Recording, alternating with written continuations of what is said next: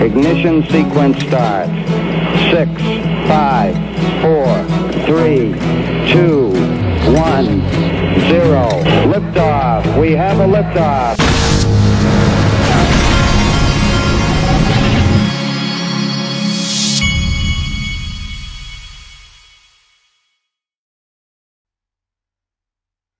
Hey everybody, this is the Digital Asset Investor, and this video is going to be kind of interesting in that I'm going to cover two um, topics, two things that a lot of people find it hard to get their mind around when they start hearing people like myself and other people online, people like I Am Legion, people like this.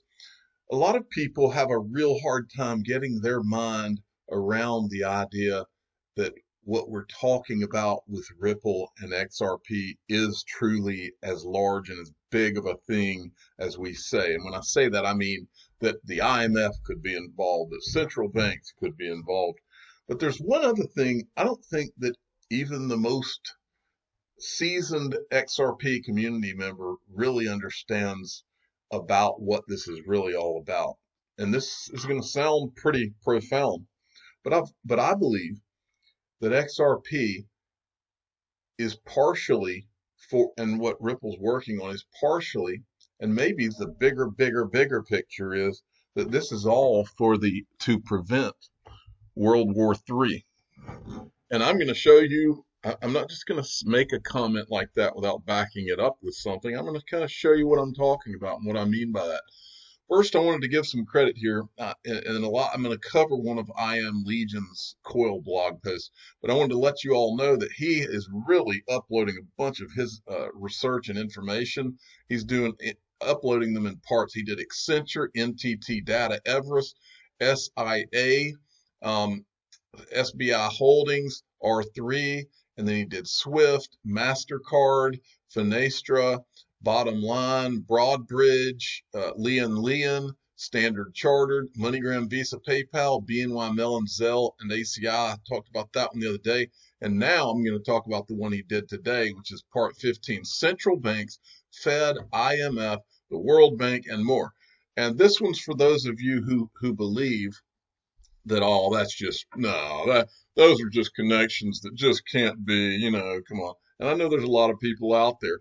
Well, you know, it, it, it's it's um it's kind of like um the way this works for and the way it worked for me as well. I did not believe all of this stuff when I first started doing this. I was telling uh, Mr. B, I was on the phone with Mr. B this morning, and I was like, when I started this, I just thought, hey, this is a new asset class, and if I'm right, uh, I, this would be a great investment. And and when this new asset class comes along, before long, we'd have XRP in, in traditional in our traditional accounts, and when that happens, the average Joe population would come in and we'll make a lot of money. That was my thought.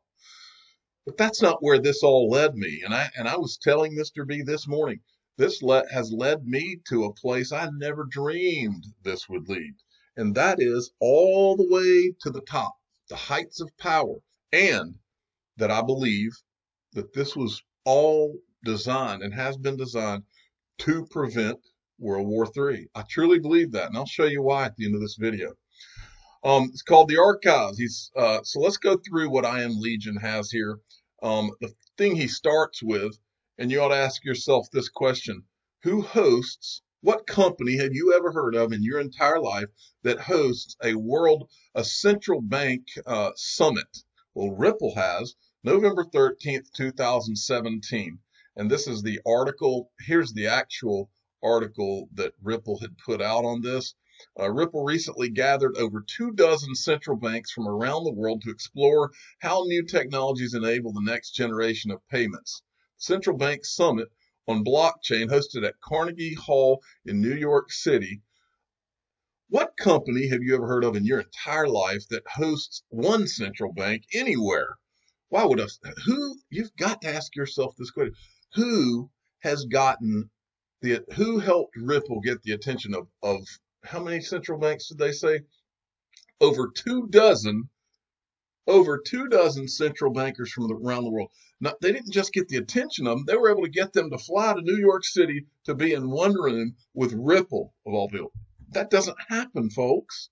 It doesn't happen, but it does for Ripple. All right. So, and then it's got different things uh, that were said here. Ripple CEO Brad Garlinghouse hosted the event and said the summit provided an opportunity to explore the full payments landscape, central banks, domestic trials, Ripple's growing cross border network, and interoperability across systems. Together, these form the beginning of an internet of value where payments move as easily as data across the internet. Um, the summit uh, started with a presentation from, so the IMF is doing a presentation at the summit. Okay.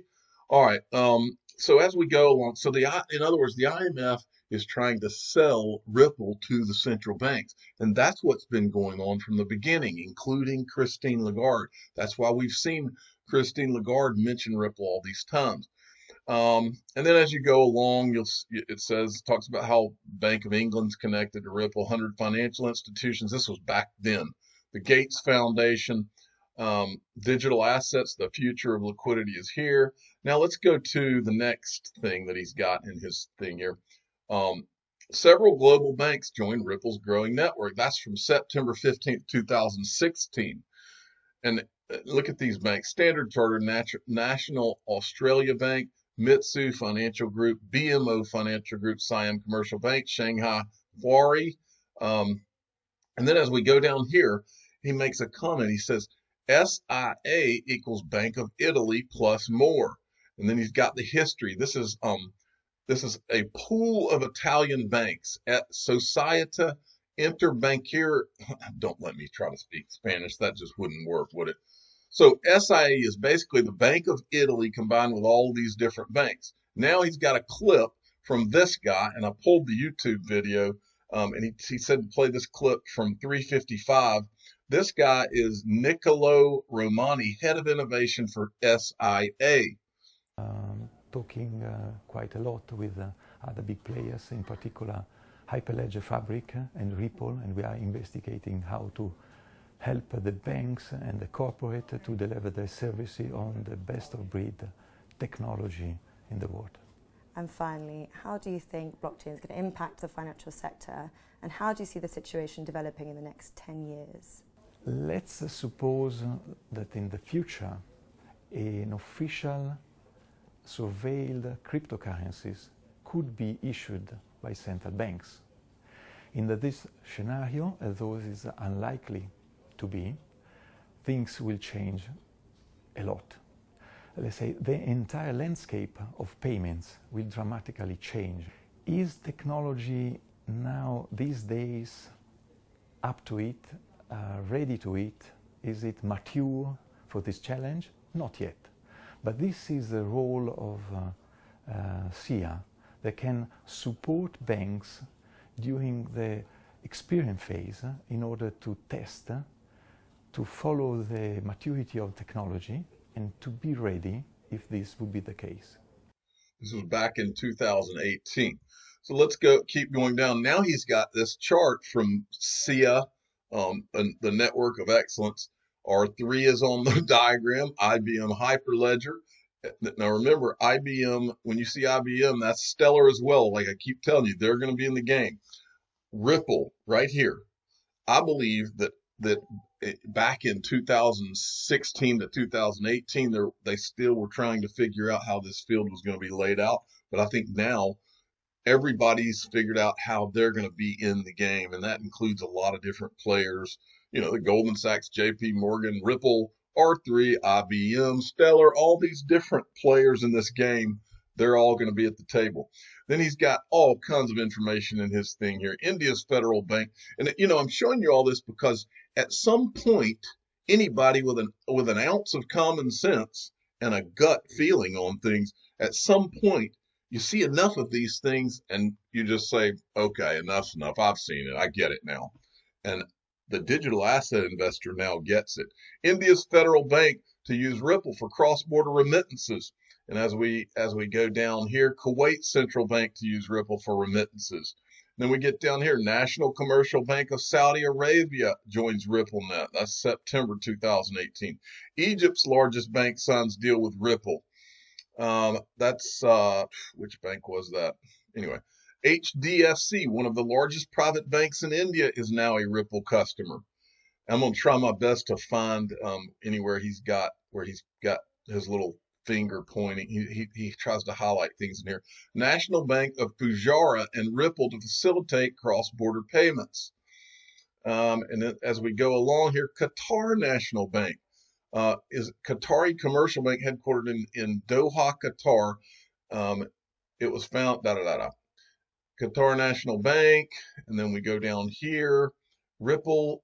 Um, there's MoneyGram, mention of MoneyGram, and it's got RBS Trials Ripple as a part of a 3.5 billion pound tech revamp. Royal Bank of Scotland. Remember yesterday in my video when I showed you, he's got an air uh, finger pointing to RBC as one of Ripple's partners. Remember, I showed you that tech guy that left Royal Bank of Scotland. Then that, then him and his team went and won won a uh, hackathon with Ripple uh, in 2016. Uh, Reserve Bank of Australia um, shows that Bitcoin is inefficient and mentions Ripple as an alternative. Um, Bank of England FinTech Accelerator Proof of Concept exploring the synchronized settlement of payments using the Interledger protocol. And then as we keep going down, the European Central Bank, synchronized cross-border payments, and then exper uh, experiments with DLT ledgers, experiment with without ILP, experiment with ILP. Ripple's Ryan Zagone to join the Federal Reserve's Faster Payments Task Force Steering Committee. Um, and then as we go down here, you'll see Ryan Zagone, real-time cross, he's presented uh, for, to that potential Federal Reserve actions to support interbank settlement of faster payments. As we keep going along, then you'll see the Fed strategy for improving the U.S. payment system, and it's got Ripple on the slide, faster payment score scorecard. And then you've got Chris Larsen, the CEO and co-founder of Ripple Lab. IMF expands fintech fintech group to foster greater collaboration between national authorities and international organizations. And then you've got all these guys on here. When you get down to here, Chris Larsen is on the advisory board, executive chairman, Ripple. World Bank praises Ripple and X, and X Rapid. World Bank believes that DLT solutions could also bring down compliance costs and improve the transparency and traceability of transfers. They also praise Ripple's X Rapid, which uses XR used XRP. That's not the product anymore. Praised um, Ripple's X Rapid, calling it a real world solution that's being actively tested um, and then they've got that quote. Uh, let's see. In 2018, Ripple, fintech company, piloted X-Rapid, X-Rapid a DLT-based cross-border payment solution along with very competitive U.S.-Mexico corridor, financial institutions involved, da da da da da. All right. Then you got this letter to the, um, I believe it's to the World Bank. Let's see. Yeah, there's a World Bank um, email address there. So that's a letter from Ripple to the, to the World Bank. Then we've got this little clip government, that you have to uh, like. relations uh, team, and we are engaging um, with 50 different governments worldwide, and um, it's a very exciting time. Um, So engaging with 50 governments worldwide. Now let's take you back to this. This is um this is the uh, thing where Ripple was doing the central bank summit back in 2017. And this is an article that was written by the IMF coming out of that summit. I believe they wrote it, um, that they actually may have written this presentation for the summit, this Dong He, uh, Deputy Director, Monetary and Capital Markets. And I think they went over that for the summit. And then Brad Garlinghouse, this is uh, Brad Garlinghouse saying, proud to have led the central bank summit where Ripple gathered central banks from around the world to discuss the next generation of payments. Together we'll drive the internet of value. And then there was there's this clip that you have to love of Christine Lagarde. countries too, demand for cash is decreasing, as is shown in our IMF work. And in 10, 20, 30 years' time, who will still be exchanging those pieces of paper called checks? Bank deposit, too, is feeling the pressure from new forms of money. Think of the new specialized payment providers that offer e-money. From Alipay to WeChat in China, to Paytm in India, to M-Pesa in Kenya. These forms of money are designed with the digital economy in mind. They respond to what people demand and what the economy requires. Even cryptocurrencies such as Bitcoin, Ethereum, and Ripple are vying for a spot in the cashless world, constantly reinventing themselves in the hope of offering more stable value and quicker and cheaper settlement. I'm going to stop there. You don't need to see any more of that. You get the picture there. Now, so if you're asking yourself, what is all this talk about this preventing World War III? What is that? Really? Well, to, to, to after against the backdrop of everything I just showed you and what Ripple's been working on, and you have to ask yourself the question: Somebody opened all these central bank doors, and it's pretty to me. It's pretty obviously the IMF that is, was involved in opening these doors for Ripple to these central banks around the world. Well, you have to ask yourself, what is the what is the IMF? How was the IMF created? Well, I've shown you this before. The IMF was created out of Bretton Woods. The Bretton Woods uh, Agreement 1944. Well, the Bretton Woods Agreement had everything to do with the prevention of future wars. That's what the whole point of it. That's the whole point of what it was about. Okay? And you don't have to take my word for it. This is this is out, right out of the Wikipedia page. The political basis for the Bretton Woods system was, was in the confluence of two key conditions the shared experiences of two world wars, with the sense that failure to deal with economic problems after the First War had led to the second, and the concentration of power in a small number of states. Now, I'm going to cap off this point and I'm going to read you. Now, this, what I'm about to read to you, many of you may not even know who Hodor is. But Hodor is one of the probably four to five people that told us a lot of significant things about Ripple and XRP over the last three years that disappeared. Hodor's one of them. The Hodor blog was his blog. And this, this blog entry, and, and, and let me reiterate that point.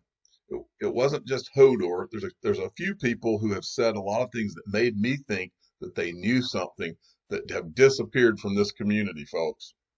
And, and they've never been heard from again. Hodor is one of them. Okay. Now, August 11th, 2017 is when he wrote this in his blog entry, and I'm going to read you a portion of it here. The title of this section is No More Easy War Financing Through Printing Money. If citizens of any country are given a choice to hold any currency they desire, there is inevitably, as we have seen, a percentage of that population that will choose a cryptocurrency like XRP. When citizens can freely choose to not hold or use the fiat currency issued by a government, it limits that government's ability to use currency to finance its projects, and then in parentheses, or wars. Instead, when a government cannot rely on monetary policy for its financing, it must actually do the hard work of asking for, for, for more money from its citizens or taking out loans in a very public manner. No more quantitative easing to finance conflict or balance a budget. Intercon- interconnections of a truly global economy. It takes days to move money across board, some borders currently, and the banking system cannot blame laws or regulations. In fact, central banks and the IMF have been calling for faster payment solutions and instant cross border value transfer for some time now. U.S. Federal Reserve and the IMF both want faster payments. In the United States, the Federal Reserve's Faster Payments Task Force recently concluded its study and in its second round selected Ripple and the XRP ledger as one of the finalists. The International Monetary Fund recently asked Chris Larsen from Ripple to be a part of their high level advisory group on fintech. No other fintech company with a digital asset was selected to participate except for Ripple. Both of these moves indicate a trend towards a much more connected global economy that Ripple can power behind the scenes with a four second settlement time for payments across borders. Interledger Protocol Ripple has also established the Interledger Protocol, an international standard for how payments should be communicated over the internet. The standard has now prompted many different ledger systems to add ILP plugins so that they can communicate directly with other ledgers, including the XRP ledger. In the future, when Ripple Plumbing has connected so many nations and banks closely together, and when ILP has enabled a mesh of different bank ledgers and cryptocurrencies to communicate instantly, a nation's borders will no will be no obstruction for money. This means that the effects of war will impact all nations that do business with a country in conflict. The detrimental economic impacts will be felt in ways that previously were constrained within a nation's borders. That convenience for those that would wage war is fading with the increased economic interdependence that cryptocurrencies such as XRP and the Interledger Protocol can bring to the fold. Invest in XRP for peace question mark. Add XRP to your cryptocurrency por- uh, po- portfolio. You just might be doing something local that helps advance world peace. I'm the digital asset investor. I'm not an investment advisor. This is for entertainment purposes only. Please subscribe and hit the like button and tell your friends and family that XRP and the digital ledger and the interledger protocol may very well be what does end up preventing World War III. And that might be the whole purpose, the real purpose, the big, big purpose of what Ripple started for. Thank you for listening. Música